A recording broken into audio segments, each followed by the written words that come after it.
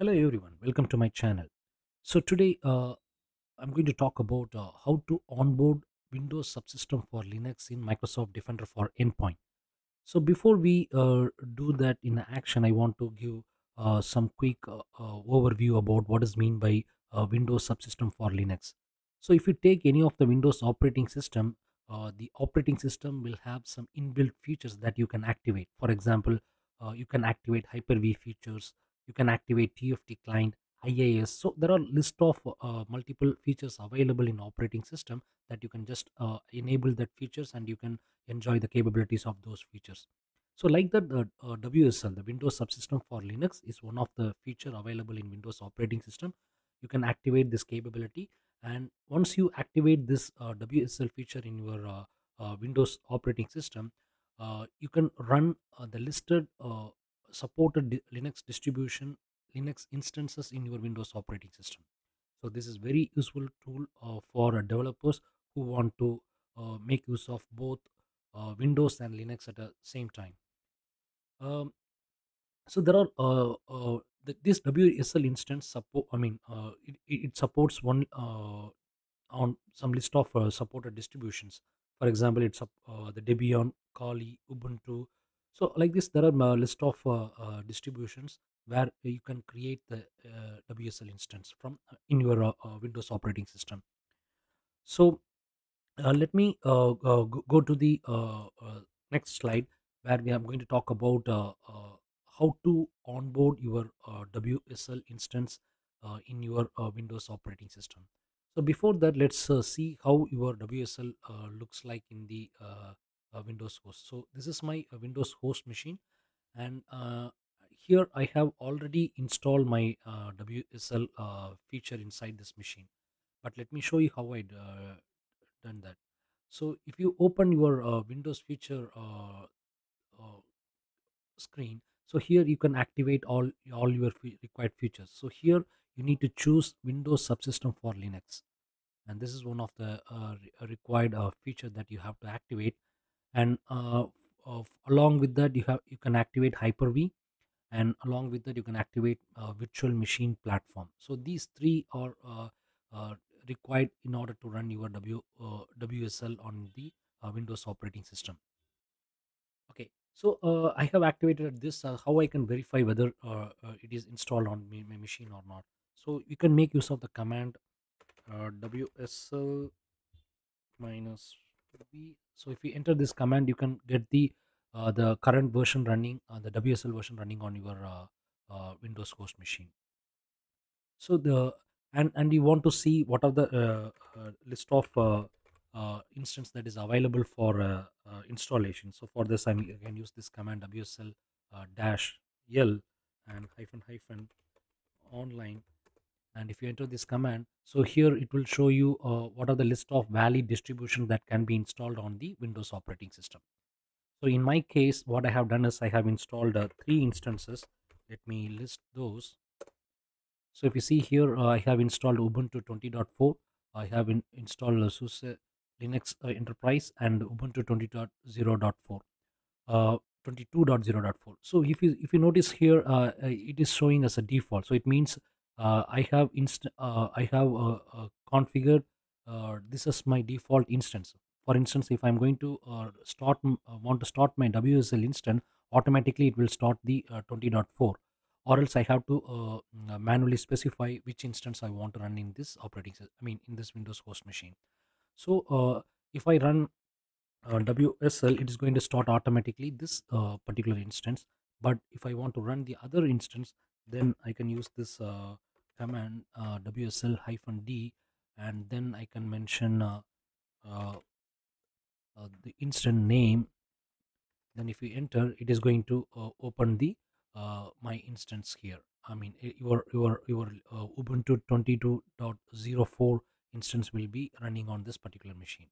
So you can see here now. So let me verify the operating system version. For that i'm going to use this command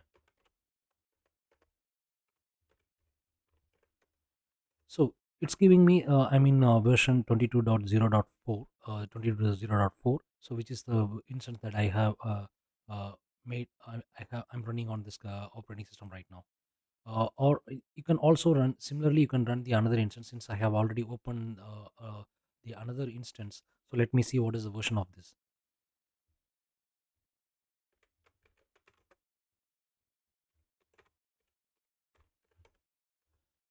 so if you see here it's 20 dot uh, 20 dot uh, 0 dot 4 i mean 20.04 so here it is uh, 22.04 so these are the two uh, different instances i'm running on my same windows operating system Okay, so now uh, we have uh, uh, uh, we have uh, see how we have installed the WSL and we have validated the installation. Now let's see how we can uh, install the Windows. I mean, Defender for Endpoint plugin in order to onboard the uh, your WSL instance into the uh, Defender for Endpoint. So for that, what I have to do is uh, uh, there are there are before we start the installation, where there is three prerequisites uh, uh, we need to be make sure before we start the installation. The one is the your WSL version should be uh, 2.0.7 or later.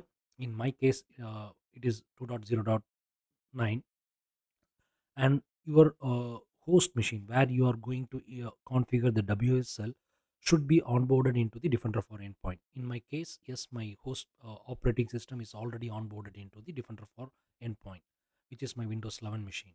And this supports only on Windows 10 version 2004 or higher or Windows 11. So you have to be uh, running on this particular version in order to uh, configure your uh, Defender for Endpoint uh, plugin on the WSL instance. Okay, so let's uh, jump into the uh, uh, my uh, screen and let me open the uh, my Defender portal. So here uh, I'm going to uh, go to the section that under the defender portal settings and endpoints. And here i'm going to onboarding section. Here uh, i can select what operating system i want to do the onboarding process. So here in my case there is an option called windows subsystem for linux 2 plugin and once i uh, do select this one it will give option to download the package. So once i click the download uh, uh, installation package the package will get downloaded in in your uh, local machine. And you can uh, install this the uh, install this msi file in your machine and your plugin will get automatically installed on your system. So i have already done that. So let me go and show you how it will look like. So after you complete the plugin installation you will be seeing this program on your machine microsoft defender for endpoint plugin for wsl so now we have uh, done the installation of a plugin. So let's validate whether the uh, plugin is uh, got installed successfully or not. So let i'm going back to uh, my, my terminal window. Here uh, i have i'm already in uh, program files windows defender for endpoint plugin for wsl and tools.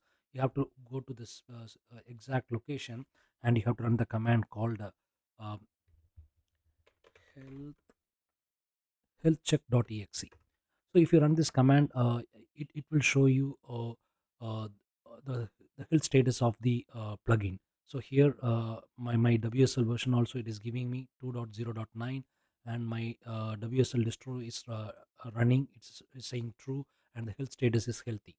So now we, we have we have we have verified that we have validated that the my installation is successful and the, the health status of the plugin is also healthy so uh, the you can also do one more uh, thing like uh, you can uh, also include a registry key value to validate the connectivity status for uh, to your mde services.